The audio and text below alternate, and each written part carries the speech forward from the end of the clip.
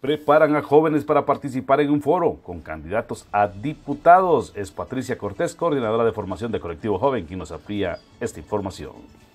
Sí, el día miércoles estaremos realizando un taller de formación eh, con adolescentes y jóvenes de los municipios de Mataquescuintla, San Pedro Pinula, San Luis Gilotepeque y Jalapa.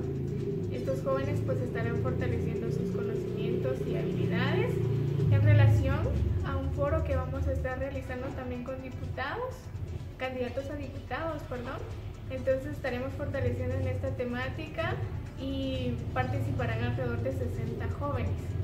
Bueno, también tendrán otra actividad con jóvenes eh, de los diferentes municipios.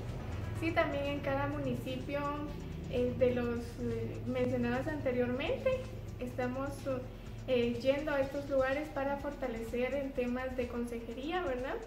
Eh, sabemos que hay mucha, mucha problemática que afecta a la adolescencia y juventud y pues estos jóvenes multiplican la información en cada espacio que se desenvuelven en su comunidad.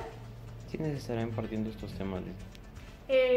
Las y los adolescentes uh, y jóvenes eh, que son de cada municipio son facilitadores que están participando siempre en procesos de formación y estos adolescentes con el fin de fomentar siempre el trabajo de pares en cada espacio.